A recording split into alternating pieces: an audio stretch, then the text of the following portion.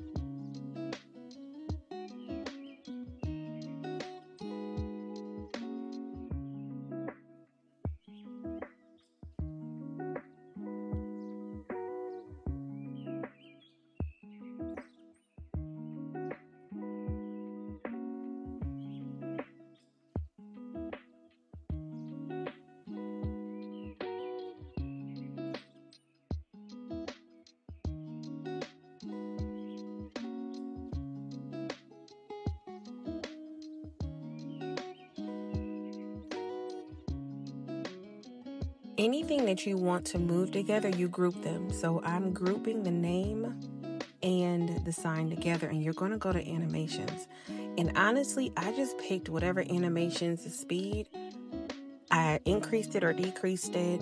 Um, I looked at the fades, so on and so forth. And I did this until I like them. So you'll see me playing around with a few of the bounds and if it's going to do it when it enters, so on and so forth. So if you look at the upper right hand side, it says that this particular frame is five seconds. So what I wound up doing, y'all, is I just duplicated that page and you'll see what I mean. And I played around with some more of the animation. So I'm just going through to see what I want to move, how much of it I want to move at the speed, okay? This is completely up to you. You don't want everything on the page moving because that's a complete distraction. So I try to get the cute stuff to move or the things that I'm like the sign, the date, stuff like that is what you want to move. You don't want to move too much on the page because it can be overwhelming.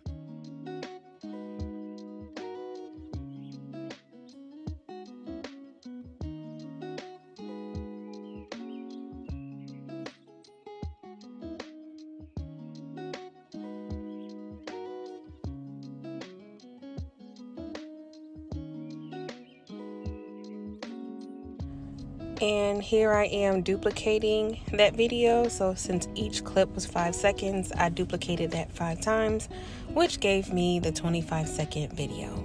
Um, you're gonna share and you're gonna download it as an mp4 right here we are on YouTube and I am screen recording the sound that I want to use. And since it's for Sesame Street and this is only for tutorial and teaching purposes um, everybody used in here is actually fake and they are models and this will not be sold. But I'm screen recording how long I want it to be so I said about 25 seconds um, which was perfect. And so after I screen record I take this into CapCut and extract the sound. And I'll show you guys that in a minute you're going to install CapCut and hit new project and grab your video of your invitation and we're going to place that inside of CapCut. Um, you hit add all, and this looks good to me. Perfectly fine. So next what we're going to do is we're going to scroll over and we're going to find where it says audio and you're going to do extract sound. And you're going to find that same clip that you just screen recorded from wherever you screen recorded from and you're going to import that into CapCut. Now y'all see where that line is right there? That's letting me know that blue bar is where the sound begins. So I'm actually going to clip that down to make sure it starts exactly where that blue bar starts for me. I had a little bit of commercial playing, so I had to clip that down. And so what I did is I just hit the split button that's right there. I'll circle it for you. Then using my finger, I just slid it all the way to the left so that it plays at the entrance point and this worked out perfectly fine. I played it all the way through. And then once I was sure that the sound and the clip was long enough, because remember, I wanted it to be 25 seconds. Um, I know it said 20, but I'm re recording for y'all. The original one was 25. Um, what I did was if you hold your finger over that bar, it's going to give you something like for the speed. So we'll, we'll get there. Um, I did fade it out. So right there at the bottom where it says fade, I do fade it out so it's not still loud when it's going on or going out. So now, now I'm scrolling. I'm going to take that CapCut part out and hit delete. And then now what I'm going to do is, y'all see it right there? I'm taking where it says speed and I'm sliding it over to the 25 seconds for the video and making sure the video is at 25 seconds to match the music. So if that happens to you, just use the speed. I'm gonna circulate right there. It says normal. Um, and then you would just change how slow or how fast the video is going. After that, you're gonna hit that upper right hand, um, the arrow in the upper right hand corner, and then you're gonna save it and you're done.